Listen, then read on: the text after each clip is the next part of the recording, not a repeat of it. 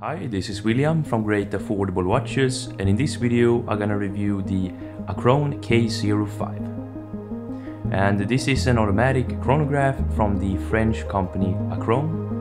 and if I'm not mistaken this is their fifth watch.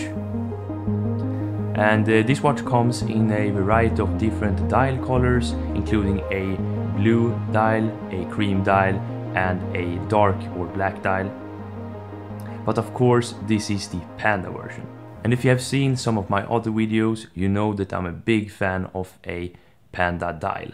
So it's gonna be really interesting to take a closer look at this watch. But as always, let's start off with the specifications first. The case size is around 41 millimeter in diameter. The lug-to-lug -lug length is around 48.6 millimeters. The case thickness is 13.8 millimeters to the slightly domed sapphire crystal. It got a lug width of 20 millimeters. It is water resistant down to 100 meters or 10 ATM and it got the ETA 2894-2 top grade movement. We can begin with the movement. Of course this is an automatic chronograph and the ETA 2894-2 is a modular chronograph movement. And that means that the chronograph module is built on top of a base movement, and the base movement is of course the ETA 2894-2. And uh, I'm a big fan of the ETA 2892. Uh, it's a great looking movement, great performer, and uh, yeah, just an overall great design when it comes to movements. And uh, of course, it's a pretty thin, or I should say it's a thin movement. So with the added chronograph module, it's still a pretty thin movement. And of course, this is really nice to see when it comes to automatic chronograph as they usually are a bit thicker, especially when it comes to integrated chronograph movements. And uh, basically the difference between an integrated and a modular chronograph movement is that an integrated movement is a chronograph movement built from the ground up to be a chronograph, while a modular is of course a base movement with an added chronograph module. Uh, so the main difference when you are servicing a integrated versus a modular chronograph movement is that if the chronograph module breaks, the watchmaker usually change the whole module, while on an integrated uh, movement they just uh, repair it like they normally do. And this is uh, not really a disadvantage. Some people think that, but uh, the ETA 2894 is known to be a reliable movement nonetheless. And the advantage, of course, compared to the ETA 7750, for example, is that this movement is a lot thinner, so it can be put in uh, cases that are slimmer. And one other great thing about this movement is that it's top grade, and that basically means that uh, it is finished to a higher degree with diamond cuts here on the bridges, perlage in the middle and blued screws. And I think it's really, really nice to see a top grade movement in this price range. And this watch retails for 1350 euros, which is, uh, if I'm not mistaken, the cheapest watch with the ETA 2894-2 top grade. And the top grade movement is also regulated in five positions versus three positions on an Elaboré grade movement. And the uh, material of some of the parts in the movement are also different. For example, the uh, balance uh, got a different material, a better higher end material than a Elaboré grade ETA 2894. One other really nice thing that Akrone have done is that they include the test results of both the water resistance and the accuracy of the watch. And I think that's really nice of Akrone to show that the watch uh, runs as advertised and also that it is uh, water resistant to the advertised 10 bar.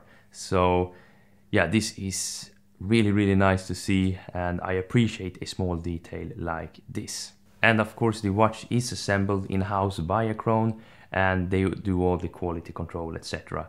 Uh, in-house as well. So that's really nice and uh, I appreciate when smaller brands do things like that. But now let's move on to the design of this watch. And as we can see, and as I mentioned before, this is a Panda dial and I am a big fan of a Panda dial. I think uh, they look uh, great and uh, especially this one I think they have nailed the Panda look. And the subdials are a bit raised from the rest of the dial which adds a bit of depth to it and that's something I really like. And we also got some uh, different scales here on the dial so uh, it looks a bit more sporty perhaps than your typical dressy uh, panda dial and I think this is a really nice mix between a dressy and a sporty watch which uh, I really like. I think they've nailed the balance between a dressy and a sporty watch as I said which is a pretty hard thing to do in my opinion. And we also got a sign screw down crown which uh, looks really nice. It's uh, very easy to grip and uh, to screw it back in, which is always a nice thing to see. And uh, the hand winding is of course extremely smooth as with all ETA 2892 or 94 movements. The chronograph pushers are also really tactile and uh, yeah, satisfying to click. And the second hand reset perfectly to the 12 o'clock position, which can be um, a problem with some chronographs in this price range. The sides of the case are brushed and it got a stepped case with uh, brushed uh, lugs and we also got a polished bezel. So a really nice mix between uh, different finishing and uh, that's something I definitely like and uh, it gives the watch a bit um, more depth overall when they mix uh, different finishing like this. And of course, as we saw before, it got a custom rotor with a see-through case back with some really nice text or engraving on the case back as well. And this watch is limited edition to uh, 300 pieces in total and uh, 50 pieces uh, in each color. This watch comes on both a stainless steel bracelet with of course solid end links and a leather strap as we saw. And the stainless steel bracelet is actually really really nice. We're gonna talk a bit more about it later. It got a milled clasp of course with the push release. Yeah it's just uh, an overall solid bracelet. I definitely appreciate that they put both a stainless steel bracelet and a leather strap in the box included with the watch. So yeah great thing and uh, the leather strap i must admit it's absolutely gorgeous. One of the if not the best strap i've seen included with the watch in this price range. I think both the looks and the quality of the strap is yeah is outstanding. Perhaps one of the best looking black straps i have seen. I'm just a big fan of this strap. It's really comfortable high quality and the looks are great. And it suits the watch perfectly it's also a really nice mix between a dressy and a sporty strap. And as we can see it's actually curved against the case. And this is also something I really appreciate. It sits really tight against the case and of course that looks uh, really really nice and it feels great on the wrist. Uh, it also comes on a pretty simple uh, deployant clasp with some uh, perlage work. It's a decent clasp not the best I've seen but definitely um, better than a regular uh, clasp in my opinion so let's go through some positive things about this watch. The first thing is that it's great looking. I absolutely love the dial. I think the dial is uh, really a winner here and the panda look uh, they have really nailed in my opinion at least. So that's a great thing. Uh, it got great finishing on the case and the dial of course and the brushing is really nicely done as well as the polishing so that's of course uh, a nice thing to see. But then again, you would expect a good finishing on a watch of this price.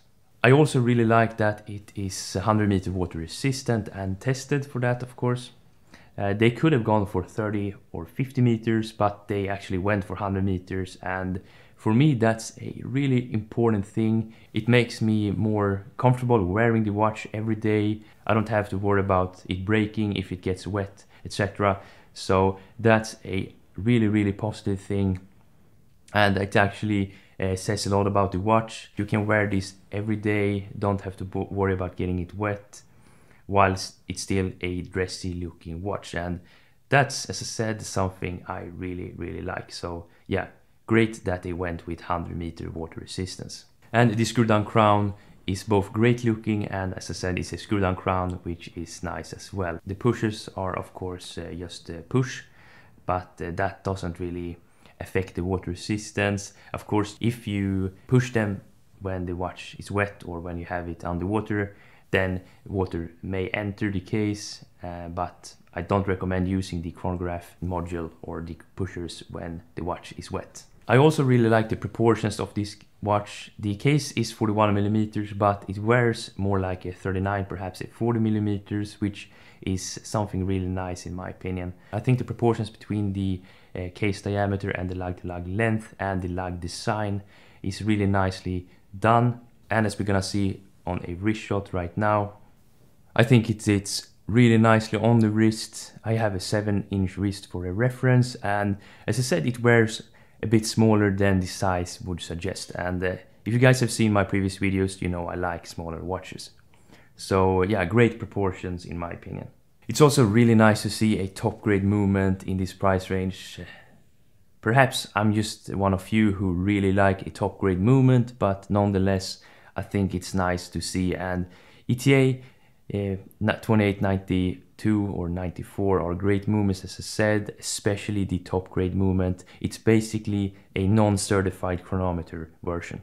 The test results of the movement and the water resistance is also really nice to see that they have included and that's something I want to see more manufacturers do.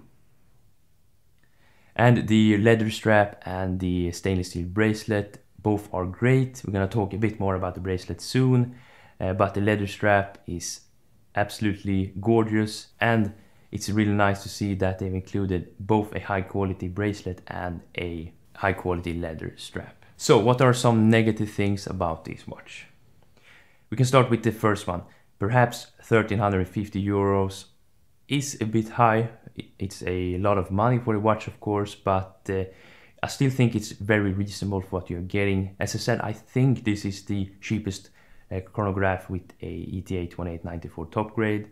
I'm not 100% sure, but I have not seen one uh, under $1,500 before. But some buyers will be put off by the price. And as I said, I'm gonna talk a bit more about the clasp or the bracelet and the bracelet itself is really nice. It got high quality and high finishing on the links. And this, the clasp in itself is also of high quality. The materials and the finish on the clasp is good, but it's a bit flimsy uh, on this part here, and that's a bit of a shame. Perhaps you can fix this, but that's something I did notice. It's a very minor flaw in an otherwise great bracelet and great watch, but uh, that's something I did notice. So that's all for today's video and all in all I'm a big fan of this watch. It got great quality, great finishing and especially it looks absolutely fantastic. And this is perhaps one of the best automatic chronographs under $1500 in my opinion and uh, I can highly recommend this watch especially if you like a panda dial there are as I said other colors as well but my personal favorite is the panda version and uh, yeah just an overall great watch for the money high quality and just a great product and of course as I said no watch is perfect but the flaws on this one is uh, pretty minor compared to all the positive things so if you like this video, please leave a like and uh, subscribe to my channel if you haven't already. So thanks for watching and I hope I see you in the next one. Bye.